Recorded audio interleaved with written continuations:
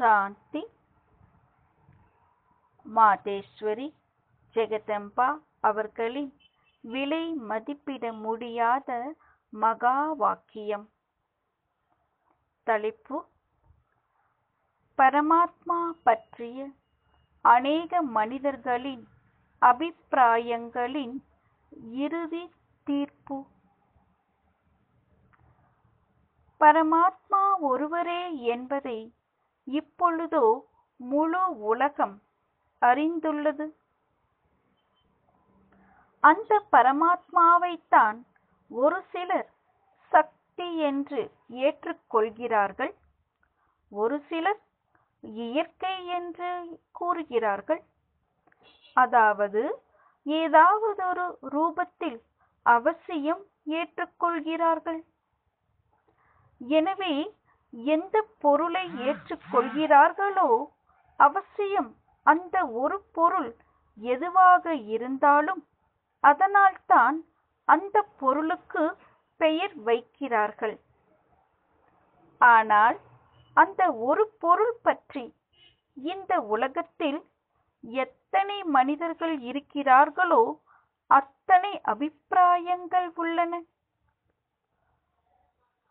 ஆனால் பொருள் பிறகும் கூட ஒன்றுதான். அதில் முக்கியமாக நான்கு அபிப்பிராயங்கள் கூறுகிறார்கள்.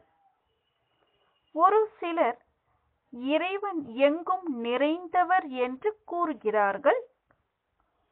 ஒரு சிலர் பிரம்மமே எங்கும் வியாபித்துள்ளது என்கிறார்கள்.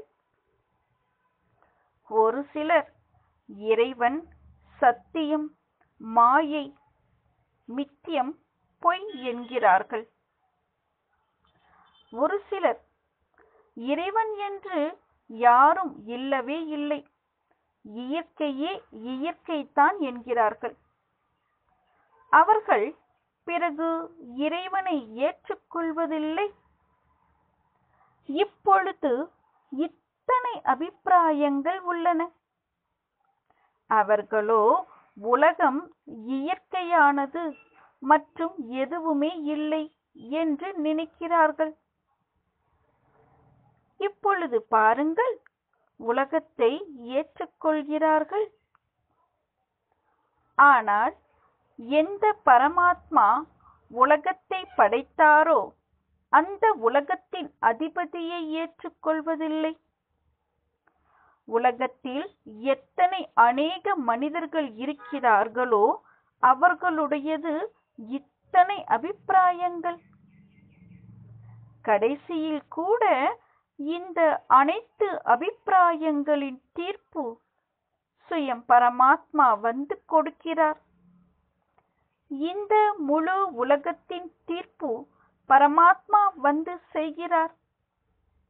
அதாவது யார் சர்வோத்தம சக்திவானாக இருப்பாரோ? அவரே தனது படைப்பின் முடிவு பற்றி விரிவாக புரிய வைப்பார். அவரே நமக்கு படைப்பவர் பற்றிய அறிமுகத்தையும் கொடுக்கிறார். மற்றும் பின் தனது படைப்பின் அறிமுகத்தையும் கொடுக்கிறார். நல்லது. ஓம். Shanti